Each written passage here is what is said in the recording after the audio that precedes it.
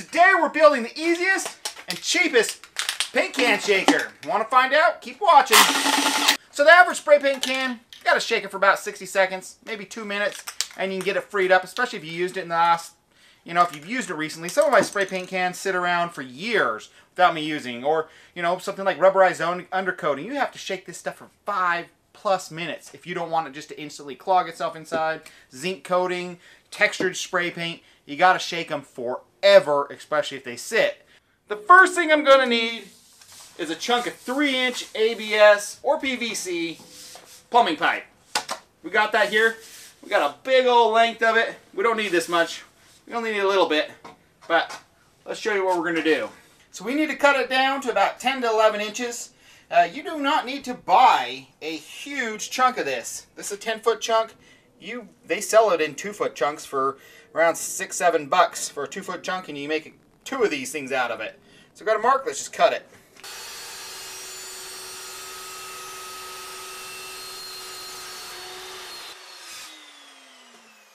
Okay, we're done with the hard part. And it fits small cans or big cans. Vintage cans, brand new cans, cans in between. Fits them all. That's all we needed. Now, the magic to this. This is going to be a spinning shaker. It needs to spin. Now, we could put a cap on there and try to fix a screw through there, or something else. They already make something that's actually cheaper than a cap. You can pick this up. This is a pipe test plug. And you know, here's an old one that I had in a 4 inch, but we need a 3 inch. And this was right around, it's $4 off Amazon shipped to my door, or I think the Home Depot had them for 550 So this just fits in the end. And as these two, you see that they're tapered, as they squeeze together, this rubber chunk squeezes out. But we need to do one modification to it. We need to get rid of the big wing nut and a couple of the washers. There's a little rubber washer on top that we do not need because we don't need this to hold back pressure. This is meant to hold, you know, so plumbers can actually test the pressure of a piping system to make sure there's no leaks. And then we're just going to take a flat washer and instead of the wing nut, we're just going to use a uh, 5 16 nut. I'm just going to screw that on. We're getting, so the parts we aren't using from the kit, the wing nut, a rubber washer, and a little nylon washer we want this this this nut to spread the load on this plastic. It's really durable plastic. Then all we do, put it in the end, and it will self-locate over a great distance. This will self-locate. This will help push out and self-locate. And then the screw that we're going to attach the drill to is long and not just braced right on the end. I was originally going to build this out of metal, but I thought, you know what? Let's kiss. Keep it simple, stupid. And that's what this is. We'll just screw it down, then I can feel it grab. We can make sure it's seated all the way down. And we'll just ratchet it in until it's tight. That's it. We're done. Really? We should sand it just a little bit. So now we just take a drill, chuck it up.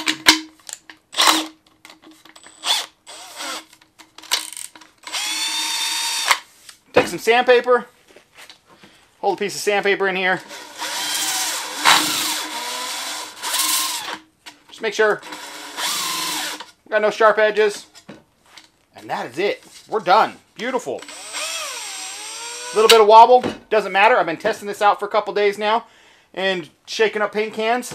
The way we get them to stay inside is not complicated. This is a t-shirt. This is just a rag. I'm going to fold it over a couple times. That's it put it in, and this just wedges down. I can still grab the top of the rag, pull that out, but that's what holds it in there. Just take it, push it down in there, and it is ready to shake. Makes you nervous, you can always just put your clutch on. So you can put your drill clutch on so it doesn't grab anything. And I'm not really holding it with my hand. I'm just kind of supporting it with my hand and loosely holding the drill.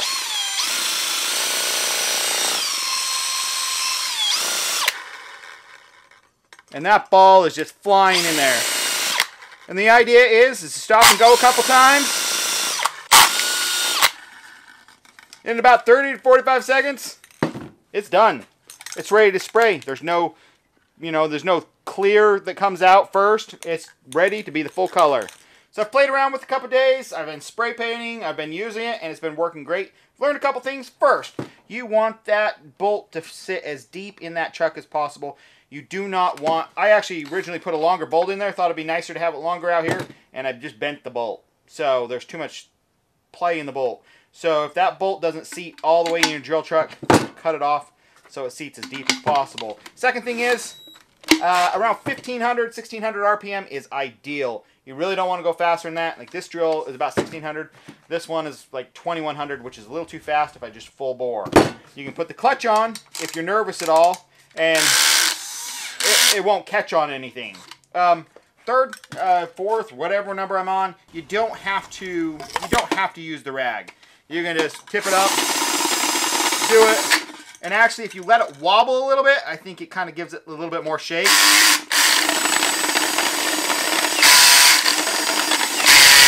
See, I got the clutch on. I can stop it at any point.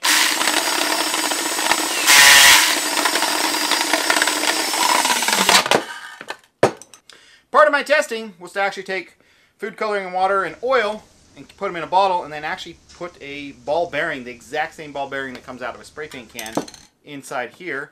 And I did a bunch of tests to see how well it shakes up. So, I mean, I'll show you five seconds. Ready? Five seconds.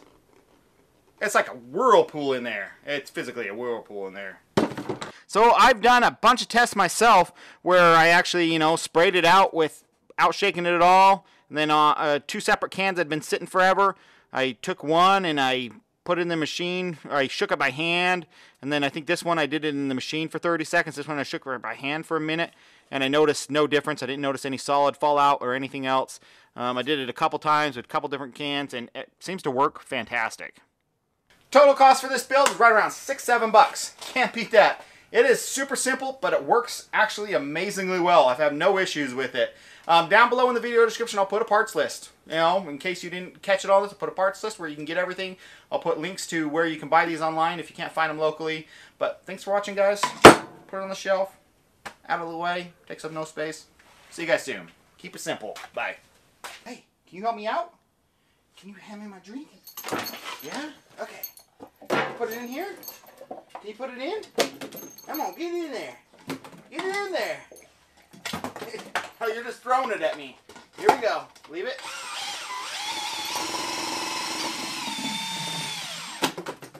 Okay, hand it here. Good job, puppy.